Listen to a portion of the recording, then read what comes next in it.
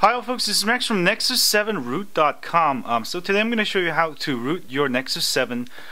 Um, so first, what you want to do is, uh, before we begin, this is going to erase all your settings and apps and also the contents of your internal storage, I think. I'm not sure about the internal storage. I'm pretty sure it does. So back up all your all of your stuff, uh, photos and personal media files, back up to your computer first and also for settings and apps you're gonna have to lose um, lose all of it. Uh, I'm working on a backup and restore um, maybe I'll have that later. But for now when you get the tablet make sure you unlock your tablet right away. You don't have to root it. Just unlock the bootloader because when you unlock the bootloader on any Nexus devices it's gonna erase all your personal settings apps and the contents of your internal storage. So once you've done that um, you're gonna go uh, hit the volume down and the power button together until it reboots into bootloader mode. Alright, and I keep holding it down. There we go. And you should get into um, the fast boot mode or the bootloader mode, whatever you want to call it. Um, and it should say fast boot mode there and lock state locked. Um, Next, go ahead and connect a micro USB cable to your computer. There we go. And uh, let's go to your computer. Next, go ahead and download Nexus 7 root.zip. If you unzip the Nexus 7 root.zip, you get a bunch of files with a folder um, called Nexus 7 root, probably under your username downloads folder, uh, most likely there. Um, next, you'll have to install the driver uh, drivers for your computer. So go ahead and go to Start um, Control Panel, Hardware and Sound, go to Device Manager. And this will get you into Device Manager. Now, if you don't know how to get into Device Manager, I'm using Windows 7 64-bit. Um, go Google it. You'll find the uh, way to get into Device Manager. And in there, you should see something like Android with an exclamation mark. Um, I have actually drivers in the folder you download it under USB underscore driver. Um, these are the drivers I took off from the SDK, so you got it right there. Um, to update the drivers, simply double click on it, hit uh, update driver, and uh, browse my computer for driver software. And then let me pick from a list of device drivers on my computer. And then choose show all devices and click next. And choose have disk and then hit browse and then go go to the folder where you unzip the files to which is uh, for me it's under Max downloads um, under Nexus 7 root folder and inside you'll find the USB underscore driver folder and inside that you'll find Android underscore winusb.inf and hit OK and for Linux or Mac you don't need drivers installed um, and I'll show you which commands you have to change from the Windows and I've got all the uh, files you need also for Linux and Mac.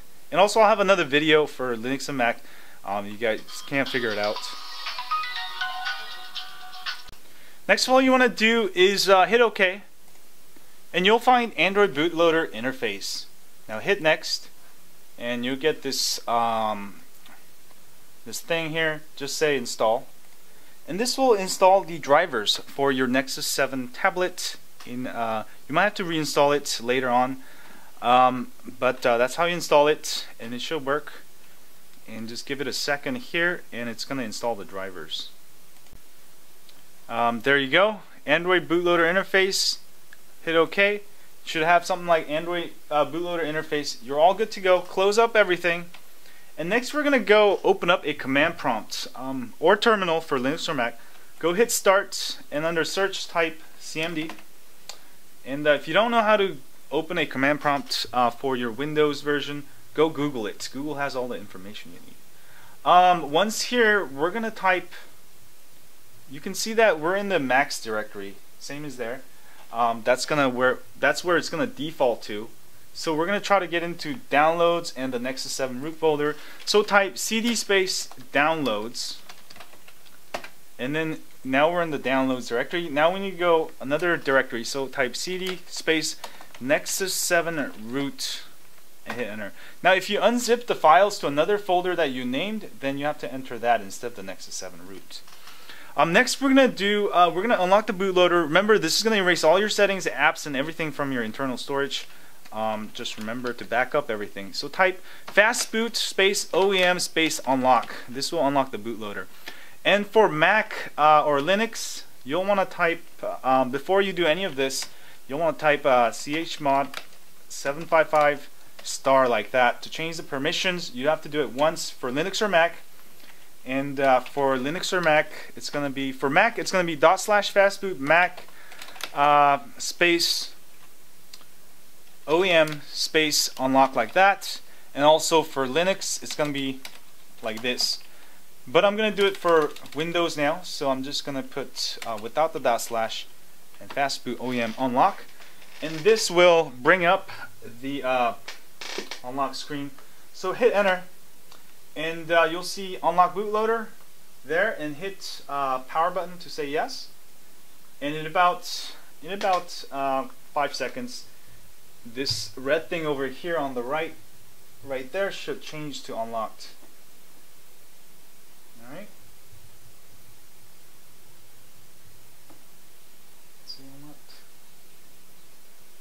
Alright now it says unlocked. And also bootloader is unlocked. Now we're going to reboot, alright, um, because we got to copy a file over. So go ahead and hit uh, the power button to reboot. Alright, and let me switch the camera angle real quick. Now once your tablet Nexus 7 reboots, um, you'll get a welcome sign again. Go ahead and sign in again um, because it's uh, when you unlock your bootloader, it's going to reset everything. So I'm going to go sign in really quick. Next, once you've signed in, go ahead and connect it to your computer as a disk drive, it should say as a media device. If you're having trouble um, connecting as a disk, disk drive, um, you can try changing it to PTP. Also, if you're using a Mac, you can download um, Android file transfer at android.com slash file transfer and uh, make it work as a disk drive. And then let's go to our computer. Next, what you want to do is um, go back to the Nexus 7 root uh, folder and do a right click on CWM SU blah blah.zip do a right click copy and uh, and then go to your Nexus 7 and go to your internal storage and just do a right click paste and this is actually the rooting file that gives you su super SU super user app and also root uh, once that's copied over let's go back to our tablet next you want to reboot into the bootloader so go ahead and hold down volume down and the power button until your phone goes back into bootloader fast boot mode. Um, there we go. Keep holding it down.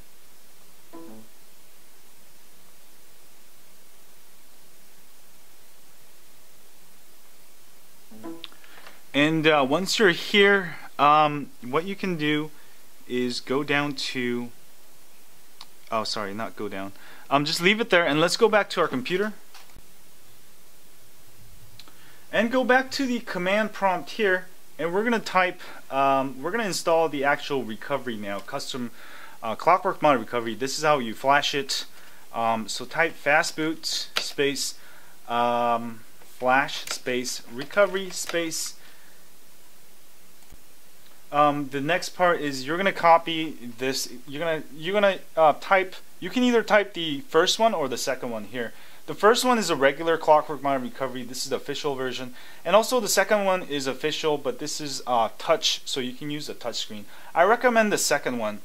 Um, so what you can do is go back here and type type RECO VRE recovery and hit the tab button and it will fill it fill it in for you.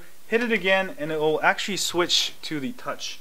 So you can go back and forth. Um, flash either one. I'm gonna actually flash the touch version let me there you go and then I'm gonna hit enter and this will flash the uh, clockwork mod recovery so you can flash the root and super user files so hit enter and uh, that should that's done and next you're gonna type fastboot uh, space erase space cache um, you always to erase cache on the newer jelly bean stuff so hit that and we're almost done. Um, let's go back to our uh, Nexus 7.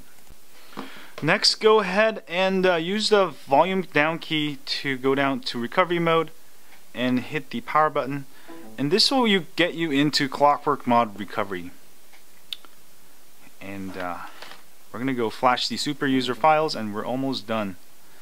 And uh, if you get the cache error don't worry about it. Um, you can do wipe cache partition say yes. This will erase the temporary files. Cache is just temporary files so I'll fix the issue there. And then go to install zip from SD card and then choose zip from SD card. And then choose the CWM Super SU the, the the rooting files and then say yes. And this will root your Nexus 7 alright next go ahead and hit go back and uh, reboot system now. And um, oh also say yes disable uh, recovery flash. Um, from my flash start recovery on boot yes this will actually fix so um, when you reboot you'll have permanent recovery. Just say yes. Alright and uh, when you're when your Nexus 7 now it says uh, unlocked there it should be fully rooted uh, with uh, with uh, Clockwork Mod Recovery Touch working. And uh, that's how you root your Nexus 7 tablet um, I'll have also ins written instructions for Mac and Linux just in case you guys got confused in the video. Um, but it should work just fine on Mac or Linux. And if you guys need it I'll make another video maybe next week. Um, but for now this should actually suffice and uh, you should have Super S SU yippee! You got Super SU run it. Um, you can hit continue. There we go and then um, go ahead and download uh, go to Play Store. Go ahead and download Titanium Backup to actually um, there you go Titanium Backup root um, go ahead and install this and you can test out if you have root or not. And also this is a great app. I have the pro version. I bought it. I'm not an affiliate I'm not affiliated with this Titanium Backup developer at all but it's a great app. Um, get the pro version if you're high on Android. Um, definitely a great app to get uh, get the pro version because it makes restoring apps just one click, very easy. There you go, you got Super User. Make sure you hit Grant quickly, um, otherwise sometimes you might have to reset it in Super SU. Anyway, th thanks you guys for watching my video. That was how to root um, your Nexus 7 tablet for Windows, uh, Linux, and Mac.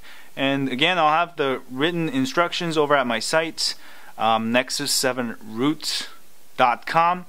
And uh, um, if you like my videos, um, don't forget to sign up for my email list at nexus7root.com. We will update you once the custom ROMs start rolling out. We'll update you once a week with ROM of the week. And also, it's a great way for you to get in contact with me via email if you have trouble with your Nexus 7 tablet while rooting, installing ROMs, and whatnot. Um, and uh, don't forget to check out my, my videos at androidroot.org. That's my new site for all my Android rooting videos, ROMs, and stuff. Um, you can see it there first before I post it on my sites. Um, and I think that's it. And stay high on Android and have fun with your Nexus uh, 7 rooted. Um, and uh, don't forget to tell your friends about um, rooting your Nexus 7 tablet. Anyway, see y'all later and uh, have a great weekend and uh, see y'all later. Yeah.